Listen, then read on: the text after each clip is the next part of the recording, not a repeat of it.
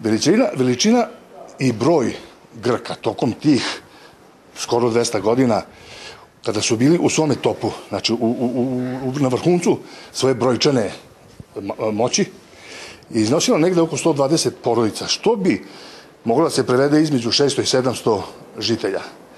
Ali e, ugled, moć i, i istorijski i kulturni značaj tih ljudi ne možemo da merimo prema njihovoj veličini, već prema njihovim e, delo, delima i njihovim zaslugama za građanje srpskog buržovskog društva u Južnoj Ukrskoj.